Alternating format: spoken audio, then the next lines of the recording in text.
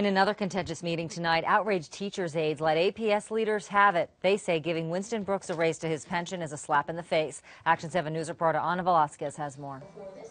Straight and to the point. We had a slap in the face, and we would appreciate you realizing that you could not run the schools without us. Educational assistants or teachers' aides told APS board members how it is. We change diapers. We do feeding tubes. We escort children on and off campus. Their outrage stems from raises given to three assistant superintendents and a pension raise for Winston Brooks. The EAs make an average of $13,000 a year in their full time position and haven't seen a raise for four years. We are uh, below poverty. I want to repeat that. We are below the poverty.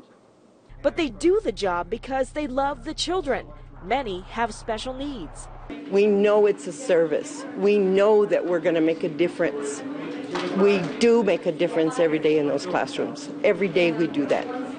But we can't continue like this. Board members say their hands are tied. It's nothing APS can do. It has to come from the legislature. Union President Kathy Chavez knew that, so she launched a campaign to gather support and show lawmakers.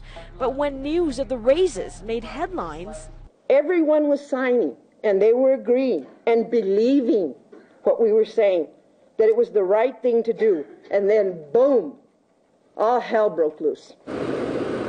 The APS board president tells me those raises actually save the district some money because the assistant superintendents are doing extra duties now. While the union, they're still going forward with their campaign to Santa Fe, and they asked the board members to sign their pledge of support. So far, I didn't see anybody sign it.